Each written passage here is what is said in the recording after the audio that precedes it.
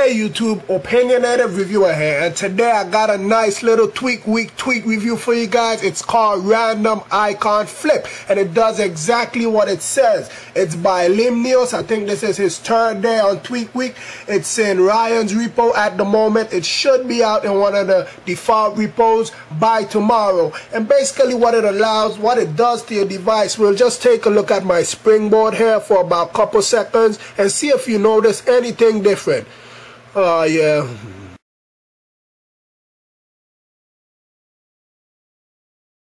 As you can see, my icons are randomly flipping, and that's exactly what it does. Your icons just randomly flip. So basically, you have some animation going on on your boring springboard. Yes, with just a simple tweak, and that's basically what it does. Not much to go into depth. I hope it's not. It's not. Uh killer on the battery life. I hope it's not killer, but that's basically it. Just a simple fun and games tweak. You know, that's what I like to call them. And as I said, it'll be out in one of the major repos by tomorrow. If you want to add it, I have Ryan's repo down in the description. With that being said, please rate, comment, subscribe. Have a nice day.